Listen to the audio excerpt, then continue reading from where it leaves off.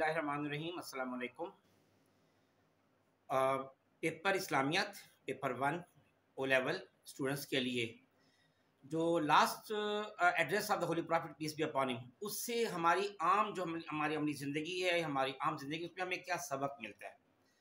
تو ظاہرہ یہ جو خطبہ جب آپ سنیں گے، آپ کو پتہ لگے گا تو کامن سینس ہے کہ آپ کو سمجھ آ جائے گی کہ اس میں ہمیں لیسن کا مل رہا ہے۔ دیکھیں، ابھی اس میں بے شمار لیسنز ہیں۔ اور آئی تھنک کہ اگر ہم ان تمام چیزوں پر عمل کریں تو ہماری پوری زندگی ہی چینج ہو جائے گی۔ جیسی زندگی ہم اب گزارے ایسی زندگی پھر نہیں رہے گی۔ یہ وہ زندگی ہوگی جس کو اللہ اور اس کا رسول لائک کرے گا۔ دیکھیں سٹارٹ کہاں سے ہوتا ہے کہ میں گواہی دیتا ہوں۔ گواہی کو ہم انگلش میں وٹنس کہتے ہیں، ٹھیک ہے نا؟ کہ اللہ کے سوا کوئی معبود نہیں اور محمد صلی اللہ علیہ وسلم اس کے بندے اور رسول ہیں۔ اے لوگو، میں خیال کرتا ہوں کہ شاید اس برس کے بعد میں کبھی تم سے اس جگہ نہ مل سکوں گا۔ میں تمہیں اللہ سے ڈرنے کی وصیت کرتا ہوں۔ اس کا مطلب ہے کہ ہمیں ڈرنا صرف اللہ سے چاہیے۔ اور ہم عام زندگی میں جو ہم اوروں کی خوشامد کر رہے ہوتے ہیں اور ہر وقت ان سے ڈرتے رہتے ہیں، تو اس سے وہ ہم نے وہ نہیں کرنا، صرف اللہ سے ڈرنا ہے۔ کیونکہ جو کام ہوتا ہے وہ اللہ کی مرضی سے ہوتا ہے، اللہ کے حکم سے ہوتا ہے۔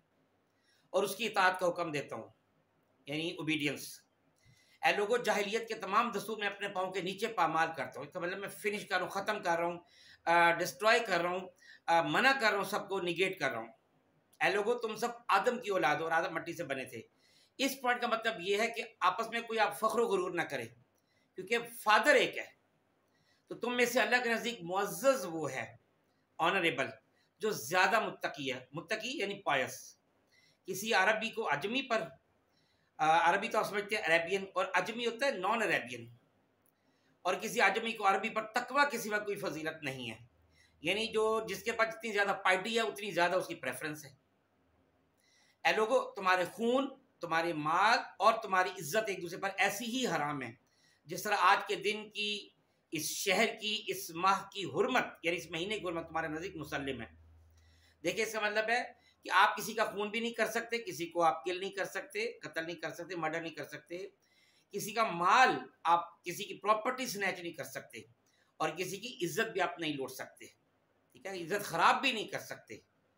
تو یہ بھی اسی کسی کے اندر آ جاتی ہے۔ اس میں چگلی غیبت بھی آ جاتی ہے، کیونکہ وہ بھی عزت خراب کرنے والی بات ہوتی ہے۔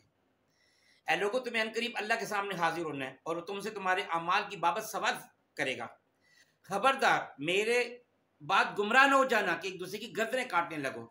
یعنی آپ جب ایک دوسرے کو قتل کرنے لگ جاؤ گے، گویا آپ گمراہ ہو گئے، تو قتل نہیں کرنا۔ جاہلیت کے قتلوں کے تمام جھگڑے میں ملیا میٹ کر دیے گئے ہیں۔ پہلا خون جو میرے خاندان کا، جسے میں معاف کرتا ہوں، ابن ربیہ کا ہے۔ جسے حضیل نے مار ڈالا۔ تو میں وہ ختم کر رہا ہوں۔ جاہلیت کے زمانے کا سود ختم کیا جاتا ہے۔ اسلام میں سود بھی سخت من ہے۔ آپ انٹرسٹ نہ لے سکتے ہو، نہ دے سکتے ہو۔ اور انٹرسٹ یہ ہوتا ہے کہ میں نے آپ کو فار ایگزامپل ٹین تھاؤزینڈ دی، میں کہتا ہوں، اب آپ مجھے الیون تھاؤزینڈ ریٹرن کرو گے، تو یہ سود ہے۔ اور سود والے سے اللہ تعالیٰ کہتے ہیں کہ جو سود لے رہا ہے یا دے رہا ہے، میرے اسے اعلان جنگ ہے۔ اللہ تعالیٰ میں معاف فرمائے۔ تو یہ بھی عام زندگی کے لیے ہمیں سبق ہے کہ ہمیں سود ہی کاروبار نہیں کرنا، سود کا لین دین نہیں کرنا۔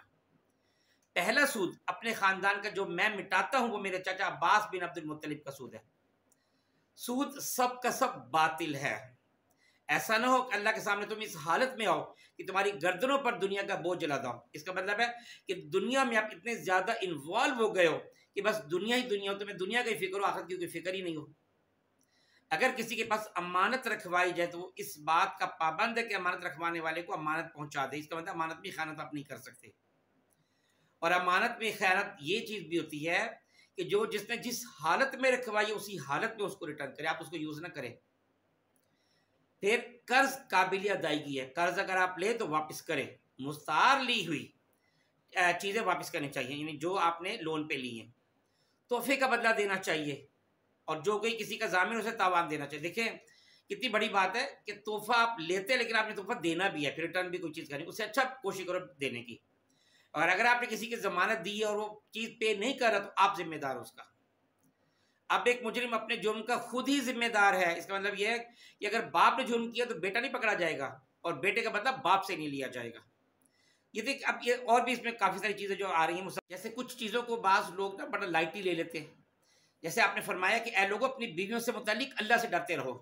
اب لوگ سمجھتے ہیں کہ نہیں، یہ تو ہماری بیوی ہے اور بس جیسے غلام ہے، لونڈی ہے، جو مرضی ہم اس سے سلوک کریں ایسا نہیں ہے۔ تمہارا حق عورتوں پر اتنا ہے کہ تمہارے بستر پر کسی کو غیر کو نہ بیٹھنے دے۔